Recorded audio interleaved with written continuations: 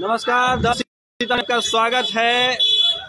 सीतामढ़ी में लाखों की चोरी, पुलिस के नाक के नीचे होना काफ़ी शर्मनाक और दुखदायक बात है। और ये जो घटना हुई है, सीतामढ़ी के प्रसिद्ध बवनगामा के मुखिया के घर में चोरी हुआ है, जो चोरी कल रात हुई है, जिसमें लाखों की संपत्ति चोर चुरा के ले गए, जहाँ से ठीक सौ गज की दूरी में पुलिस स्टेशन भी है, महसौल ओपी और यहाँ बगल बगल आप देख रहे हैं, जो मार्केट है, मेन रोड से लगा हुआ ये घर है, और चलता फिरता मार्केट के बीच जो पटना बस स्टैंड बोला जाता है, ये इलाका है।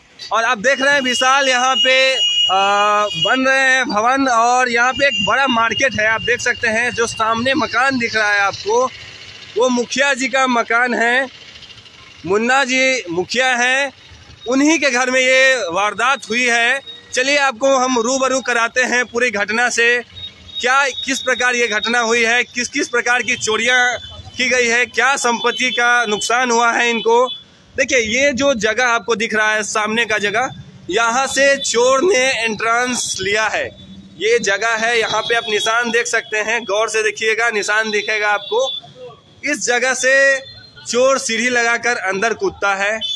फिर धीरे धीरे इस रास्ते से अंदर जाता है। देखिए, लोग यहाँ पे आए हुए हैं देखने के लिए किस प्रकार यहाँ पे चोरी का जो वारदात हुआ है, पूरा घटना। काफ़ी सनसनीखेज घटना है। और बीच सड़क के बगल में जो मेहसौल ओपी के जस्ट बगल में ये घर दिख रहा है आपको। इस घर में चोरी हुई है। देख रहे हैं, चारों तरफ़ बिखरे हुए सामान, अलमारी का ताला लॉक खुला हुआ है। और जैसा कि परिजन बता रहे हैं, जो घर के लोग हैं, यहाँ से देख सकते हैं, पूरी तरह से ये जो अलमारी है, सामान से भरा हुआ था। और इसमें से कई सामान गायब भी है। और यहाँ का लॉक तोड़ लिया गया है। आप देख रहे हैं, ये जो सामने पड़ा हुआ डब्बा है, ये पिस्टल के बंदूक के गोली का ये डब्बा है, जहाँ से लगभग 25 गोली चोरी हुई है। और जो बंदूक है वो खुशकिस्मती से ये यहाँ पे नहीं रखे थे। और घर, जो इनका ग्रामीण पैतृक आवास है, वहाँ पे ले गए थे। देखिए, चारों तरफ़ सामान बिखरा हुआ है। किस तरह चोर आता है। और ठीक जो पुलिस के नाक के नीचे से लाखों का सामान उड़ा करके ले जाता है। आपको मैं अंदर का दिखाता हूँ किस प्रकार सामान बिखरा हुआ है। यहाँ से चोर एंट्रांस करते हुए ऊपर की ओर जाता है। और आ, मैं आपको कुछ और चीज़ें दिखाना चाहता हूँ जो काफ़ी महत्वपूर्ण है। इस पूरे घर में आ, आज तक कभी चोरी नहीं हुई थी। इस पूरे एरिया में 25 सालों से जो कहना है इन लोगों का यहाँ पे किसी प्रकार का चोरी नहीं हुआ था। मैं आपको दिखाता हूँ घर के अंदर ले जाता हूँ। यहाँ गैस कटर का प्रयोग किया गया जैसा लग रहा है। यहाँ से लॉक तोड़ा गया है।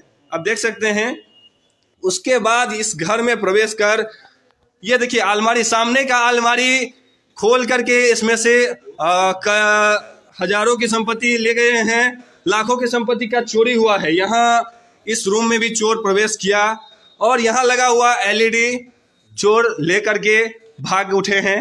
साथ ही उन्होंने अलग अलग जो बेड है, देखिए बेड किस तरह बिखरा है, इसको उठाकर भी उन्होंने देखने का प्रयास किया है कि किस कोई सामान अगर यहाँ पे रखा हो, कोई बेशकीमती सामान हो तो उसे भी ले जाएँ।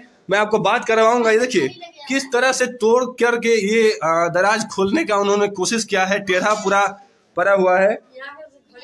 देखिए, यहाँ से कीमती घड़ी थी जो कॉस्मेटिक सामान था महँगा महँगा आप देख रहे हैं किस तरह से चोर पूरी तरह से घर को तहस नहस करते हुए लाखों की चोरी को अंजाम दे गया है। मैं आपको और कुछ जगह दिखाता हूँ। देखिए, यहाँ पे भी बिखरा हुआ सामान, बिखरी हुई अटैचियाँ, टूटे हुए अलमारी के ताले और खुले हुए गेट, ये बात के साक्ष्य हैं कि किस तरह से जो भीषण चोरी हुई है इस घर में। देखिए एक वेल स्टेब्लिश घर है ये, और इसमें से लाखों का चोरी होना, कहीं ना कहीं पुलिस की आपसी सहमति से तो नहीं हुई, बहुत बड़ा सवाल है। और पुलिस के नाक के नीचे इतना बड़ा चोरी को अंजाम देना, चोर के लिए काफ़ी हिम्मत वाला चीज़ है। देखिए आपको मैं नज़ारा दिखाता हूँ मेहसौल ओपी कितना बगल में है। आ, अभी तुरंत आपको मैं दिखाऊँगा और परिजन से बात भी करवाऊँगा। मगर देखिए क्या सीतामढ़ी का किस प्रकार का स्थिति हो गया है? बेखौफ अपराधी घूम रहे हैं बेखौफ चोर घूम रहा है दिन दहाड़े लूट हत्या की वारदात हो रही है। देखिए सामने से दिख रहा है ये जो सामने वाला बिल्डिंग है वो विद्यालय है और उसके बगल में मेहसौल ओपी है। देख रहे हैं मेहसोलोपी का बोर्ड आपको दिख रहा होगा। सामने ठीक सामने मार्केट है जो कि इसके अपोजिट साइड मेहसौल ओपी भी है और यहाँ पे bus stand, railway station, Patna bus stand सहित तमाम जो सीतामढ़ी के प्रख्यात इलाके हैं, जो पौष इलाका बोला जाता है सीतामढ़ी का, ये देखिए सामने मस्जिद है और भी कई यहाँ पे मार्केट हैं जिसमें दिन रात लोग आते जाते रहते हैं। बावजूद इसके जो चोरी है, उसका अंजाम दिया। मैं आपको मुखिया जी से बात कराना चाहता हूँ। सर बताइए क्या इस प्रकार की चोरी आज से पहले कभी इस मोहल्ले में कभी हुई थी? कभी नहीं हुआ था। पैंतीस साल में ही मेरे साथ पहला घटना है। सर तो आ, क्या क्या नुकसान आपको हुआ है? क्या क्या चोरी हुई है आपके अंदाज से? अभी तो एक घंटा पहले हम गाँव से आए ही हैं लेकिन सामान जो भी घर में था बेच के चीज़ सारा का सारा जो है इसकी चोरी हो गया। आप देखो कि ये नीचे का एलसीडी ऊपर का एलसीडी उसके बाद जो है कि कुछ गोल्ड कुछ सिल्वर का था सो कपड़ा वगैरह ये सब जो है अब तो सब देखेंगे।